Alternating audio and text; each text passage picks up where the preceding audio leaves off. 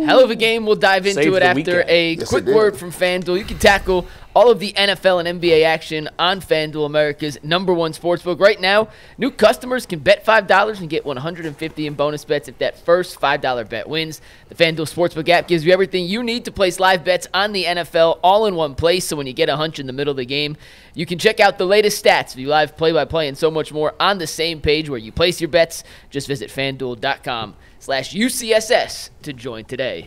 Speaking of those Cavs, they had lost two in a row to the Atlanta Hawks. They were down double digits entering the fourth quarter against the mm-hmm. Boston Celtics last night.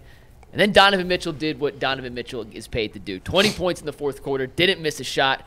An incredible superhuman esque performance from Spider. Jason, you were there.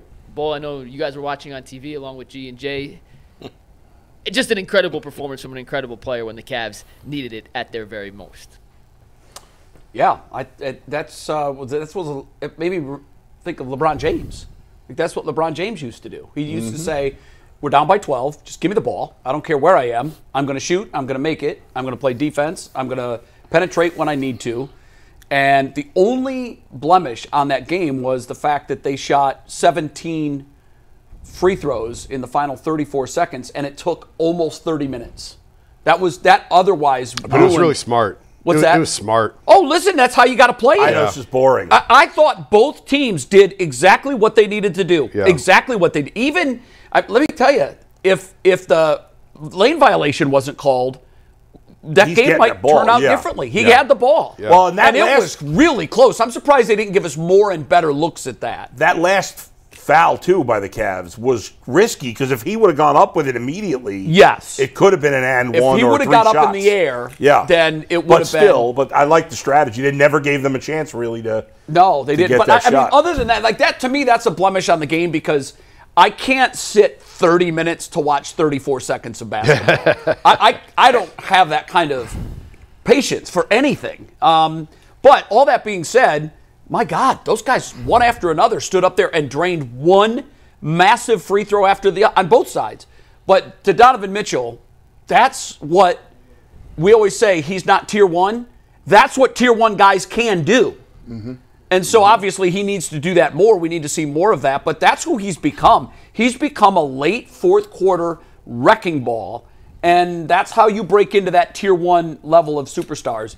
That was a massive win. I know we're going to talk about that next. But Donovan Mitchell was at his absolute best when they absolutely needed it. And it was fun to watch. The thing I like about where he is right now is when he first got here, and we've talked about this on the show at length, and I mentioned it to him again last night. When he first got here, it was always just give it to Donovan and get out of the way, and it just felt like that was the entire plan. And I just, I didn't, I hated that. I hated that work. it was. And we talked about it. And he said, I have to win every game I play, and I'm going to do everything in my power to win every game that I play. That's just the way that it is. And then he sort of evolved from that. And, into, and we talked about it at the end of last year. And he said he sort of came around and he needs, he realized he needs Darius in those moments. He needs Darius with the ball in his hands to get some of those shots at times.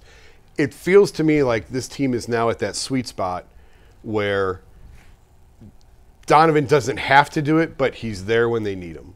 Yeah. And it feels like it's the right spot to be in. And last night, and I asked him last night, when did it feel to you like it was it was time to go?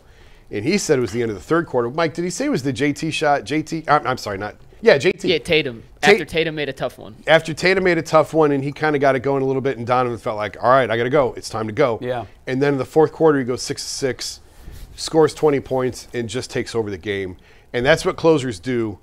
And it, but it felt like it was within the moment of the game, and it wasn't just give it to Donovan and get out of his way, which is the way that it was in the past. And it just feels like they're in a sweet spot now of they have this closer. He can win you a game. He can go get you a game when he's feeling it, when it's rolling. But there's also other options that it doesn't have to be that guy every night. That was a big win. And I'm the one who poo poos a lot of November and December and say, guys, it's only November, it's only December. We're not going to be talking about this in April. This was a big win because they lost two to Atlanta. Boston plays similar to Atlanta. Mike and I were talking about this. Atlanta's good. Like, they're good. They're a tough match for us. They're long and athletic, Yeah. and so's Boston. They were without Jalen last night, but you had to win that game because if you want home court, you can't go down 0-2 in the series. Right. and then expect to still have a shot at the one seed. Had they lost last night, they fall out of first place in the East after that incredible start that they have. That was a big win. It, It, was an important four win. losses in six games. Yeah. obviously to, Yeah. two to It Boston. was an important win. To Atlanta. I agree. Man, you know what? I'll tell you what. Um, you know, this was a, a huge win. Uh, when I got on Twitter and I was talking about it, uh, about this level of win, people looked at me like, come on, G. Bush. Here you go again, being emotional. And I said, look, man, go tell your, your, your you know, first grader or the kid that you dropped off at school for the first time, hey, you know what? When you're 35, you won't remember this, right? Go tell your eighth grader, yeah, hey, you know what? I know you, you, you got your first boyfriend, but you won't remember this in 35 Yeah. years. Oh, Your yes, heart won't always yeah, feel yeah, like you this. won't always feel like this. Hey, we in the moment right now. We trying to we, we trying to figure this thing out. The Cavs are trying to develop some championship uh, type habits. They need to figure out where they need to be aggressive, just like Jason uh, so eloquently pointed out. It's about your, your, the speeds, the tempos, and where do you step in as Donovan Mitchell to say, okay, this is one of those games where I need to be aggressive and my team don't got it. So let me go ahead and put the Superman cape on. He had five points at halftime. He comes back out. And this game is a 12, 13 point game it, it- it- late in the third quarter, early fourth quarter. And he sensed what he needed to do. He came, he comes back in the game and he gets it going. Uh, every time that they came down, Pritchard, by the way, this dude is turning into my, the, one of my hated, most hated Yeah, players. This guy, his this scrappiness and, and shot making ability of this guy against the Cavs is turning into like something that does not need to happen. We'll get into that later. smack talk, Yeah, too. just just being out. The way he trying to bully, just turning around. Who lets you get your money off of the paint like that? I don't like him, but I love to have him on my team if he was there. Uh, but Donovan Mitchell, boy, look, when you talk about your superstars, and Donovan Mitchell is is is right there. I be wanting to call him a superstar sometimes, like right there, like ah, let me put you in that category. But you keep doing this against the Celtics and doing it when it, when it matters, they're gonna put you in that situation. And I've said it before: if Donovan Mitchell can consistently win games like this, and the Cavs have the best record. He can be in contention for the MVP. Spider Mitchell, if you ever wanted to get on that level, if you ever wanted to be right there, you got an opportunity this year because you got the record, you got the team, y'all play the right way, people like you guys, and on top of it, you got a team that can compete with the Celtics, man. So I, I'm looking forward to it. Spider Mitchell, that was as exciting a, a basketball game as I remember watching, where where it's shot for shot coming back from behind. Boy, I, I love that. after three quarters, it felt like this. Okay, this was the continued trend of how they've been playing. Mm-hmm. They got off to actually a good start last night for a minute, and then it was terrible for three quarters. And it felt like okay, well they played like crap against Atlanta. They didn't play particularly well against Boston the first time, and here Boston is without some key players, and you still can't get it done. So I think we were all feeling frustrated heading into that fourth quarter. Jason made the point that you know in the past when it's been just give Donovan Mitchell the ball and get out of the way. It's not really good for the team, and I agree. And I think the difference now is he doesn't have to do it. They wanted him to do it in that situation, right? They needed they they they needed him there because other guys weren't having a great day. Evan Mobley had one of his worst shooting days that he's had all season. Uh, and Garland was fine. I mean, he he was shooting fine, but Jarrett Allen didn't take a lot of shots. Nobody else was really stepping up in the moment, and so they needed him there. And you could tell the other guys wanted to get him the ball. It wasn't that they were all standing around doing nothing. There was good ball movement, and it just the ball kept finding Mitchell because he was hot. They've done that with other guys in other games. You know, there was that game, I can't remember who was against the other a couple weeks ago where Ty Jerome, they just kept feeding him the ball because he was hot, and that was it. And and so it doesn't feel like it, it feels like he- Donovan Mitchell is having these moments within the system and within the offense. And his relationship with the coach, you saw that one thing there, just when he had his arm around the coach. I feel like something simple like that is meaningful. I, maybe I'm being silly, but I don't know. I just like that he had his arm around the coach. It shows you- like a level of oh, respect. It's good. It's good body language. Are Yeah. you getting emotional here, Boo? That wasn't even emotional. a stat. That was not an analytic stat. verklempt? Yeah. Like, like, Are you uh, is, verklempt? is this a this a people move? I, I think this is a people. I don't know what it is. I but you know, Holiday I mean, season. LeBron put his arm around Blatt. and then he put, and then he and then he moved it up to his neck. yeah, well, and then he choked him and out. he choked him out. But no, but there Yeah. is there is a, a deep level There's a of respect. relationship, There is a deep level Yeah, of I respect mean, between those I guys. uh, So- I I thought that th- the touch pass from Okoro to on the dunk. The- I think it made it 115. It 115. was to 111. Mobley at the very end. Right. There was a quick down Yeah. in the blocks, touch pass, and Okoro. It was so it wasn't like he went LeBron v Pistons, where he just literally told everybody go take a nap. Right. I've got the next 25 points. There was still involvement from other guys. Right. Now he- the crossover at the top of the key, sidestep three, like he did most of it himself. But Jason, I love what you said about how early in his time here he felt like I've got to do it every night. It's just like Jose Ramirez, who feels like every night he's got to carry the load. At some point, there is a straw that breaks that camel's back. It's exhausting to do that every night.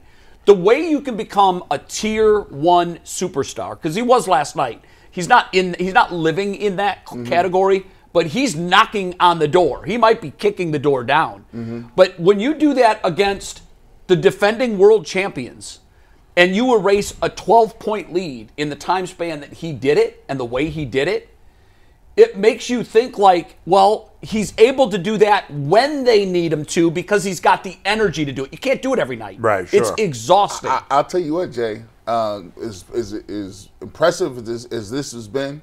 There was something that I never thought I would see. We'll talk about it later on the show, but uh, it ain't had nothing to do with no offense. But Darius Garland Oh, playing yeah. defense, boy. Yeah. We're, we're Where'd you get get? Where'd next. you get real- to that? he had a quick. stop on Tatum that I just I I, I had Okay. to rub my eyes. Okay. We're gonna get to that next. The f- I want to just say one thing on Donovan and Jason Yeah. pick it up. But being there last night, Kenny talked about it. Donovan talked about it afterwards. In about the middle of the third quarter, when they went down by I think it was 14 points, kind of felt the energy being sapped out of it. It felt like Yeah. all the good vibes. Was it 14? I thought the biggest deficit was 12. I, I could be wrong. Whatever, it was? I thought got it was 12. point. Either way. you could feel, and it almost felt in the moment being there, like all the good karma they had built up over that 17 and one start. Yeah.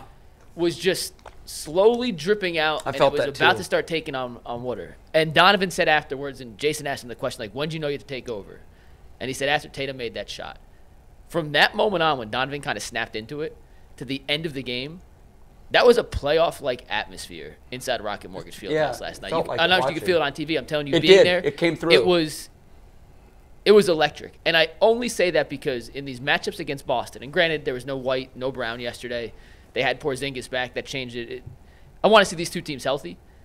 But getting two games against Boston, one in Boston, one in Cleveland, now that both kind of came down to the wire like this, Yeah. in that intensive of an atmosphere, is only going to benefit this team down the stretch because you can't replicate and manufacture those kind of environments, those kind of pressure situations, especially if they're running away in the Eastern Conference and they're playing all these games in March where they're fighting for the one seed, but most of the games have no impact on playoff seeding. They're going to be locked into a top two seed. Yeah. I thought that was a big factor last night, and the fact Donovan came through with 20 points, six of six from the field. They made all their free throws down That the was stretch. that was huge, Mike. And just just an incredible, resilient performance from a team that, despite being 17 and three, I thought desperately needed a win last night. I agree. just- it was desperation. It felt I, it felt like it watching it. one other thing on the on the Donovan conversation, he's not going to win the MVP because he's actually, if you look at his numbers, he's averaging the fewest points, his lowest rebounds, and his fewest assists since he got to Cleveland, and yet this is the best team that he's on. Well, the, Well, that's that to me is telling. He's playing the fewest minutes. He's scoring less. He's all of his numbers are like all of the traditional numbers are down, and this team is far and away the best. well, the team definition of MVP is most valuable player. Yeah, he's not going to win it. Sometimes, and he, he won't win it. I agree with you. He won't, le- depending on what happens. Sometimes but less is more. he's made the team better. He's become more valuable to the team. and that's sort of the point I was trying to make in the beginning was he doesn't have to do it every night. No. But it's there when you need it. And last night they needed him and he was there for them. But if you look at his numbers and it's a it's a good thing that he I know that he felt like he was playing too many minutes the last couple of years. His minutes are down, some of the production is down, but some of the other guys now Do we know from an efficiency standpoint, the numbers are the numbers down because the minutes are down? Well that's part of it. You just on the So floor I mean, I'm, you're gonna- I'm willing to overlook that. He's if you're- shooting if the his three. efficiency. He's shooting like 40% from 3. I just looked at it. I don't remember now, but I think he's That's- right around 40%. It's his career best in three point percentage. Yeah, that's definitely up. it's his lowest field goal by, by I mean by three percent. It's not like it's a giant Right. drop off. Right. Um, despite the fact he's taking the fewest shots. I mean, I would tell you what, man. Look, we talk about stats, and we in basketball we love to say people got empty stats. We love that. We be like, ah, Sure. You're playing on a bad team, jacking up a bad a lot of bad shots, and you like, okay, well, you know, you're not going to be in, in in terms of of running for first team All NBA or or MVP. But for me, you want to look at it and say, okay, they got a new coach, they got a new system. He signed here in Cleveland. He's gotten and, and believed in Evan Mobley and Darius Garland and some of those other guys. He's obviously the leader. And when you can put points like that on the board in the main crunch time against the Celtics, um, that that puts you in a different different space. Because I look and most yeah, and most importantly, G. Sorry to cut you off, but but because he doesn't have to do it all the time, he's more likely to get it done when they do need him to because Yeah. he's not going. Is he? Because he's playing less minutes. In in theory, he should be fresher as the season goes, and be able to step up even more in those big spots, especially in the playoffs Mm-hmm. when they need him, because he's not being worn out during the regular season. It's like leverage pitches in baseball.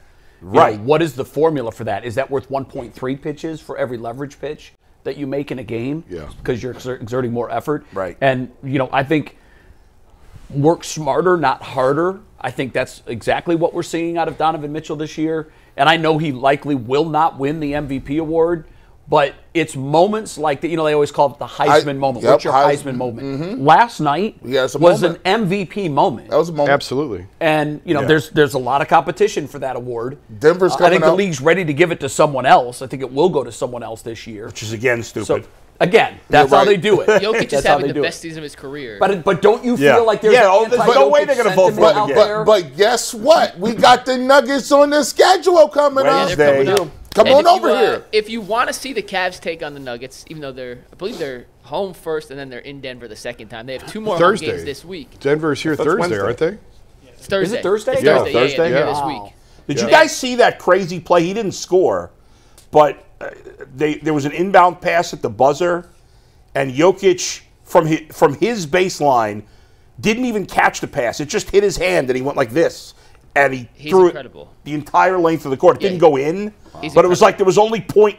It was essentially had to be a Had to be a tip, tip. And they he tell you, the yeah, length you of the can't court. catch and shoot, you gotta tap it. It was incredible. It reached the other basket. He didn't score, but